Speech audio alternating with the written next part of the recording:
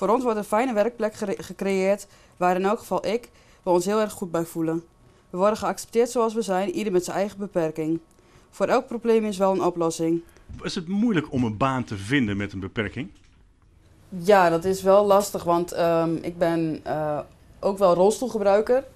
Ik gebruik vaak ook mijn rolstoel en het komt wel heel vaak voor dat mensen alleen de rolstoel zien en dan ook gelijk denken dat je nou, geestelijk iets mankeert en dat is wel heel vervelend. Goedemiddag Bouwhuistuin, u spreekt met Heidi.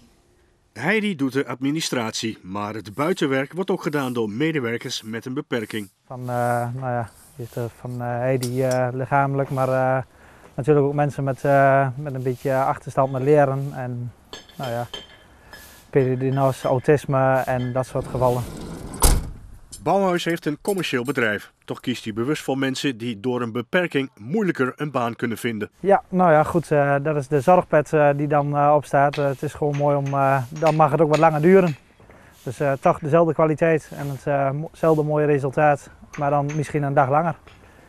Kijk, en, en dat wordt wel gecompenseerd dan. Vanmorgen werd in Amsterdam de Lucille Werner Award uitgereikt in de vorm van een tegel op de Business Walk of Fame.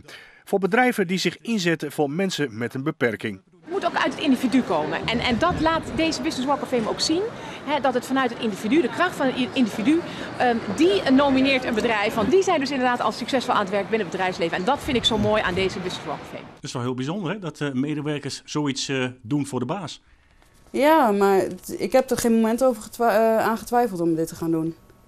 Omdat ik gewoon ehm, ja, gelijk, gelijk mij hier, hier heel erg op mijn gemak voelde. Het is al een hele winst eh, dat we genomineerd zijn als bedrijf. Dus eh, daar zijn we al ontzettend trots op en eh, erg blij mee.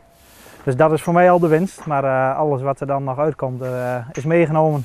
Uiteindelijk greep Bouwhuis Tuinen net naast de award en eindigde op een prima tweede plek.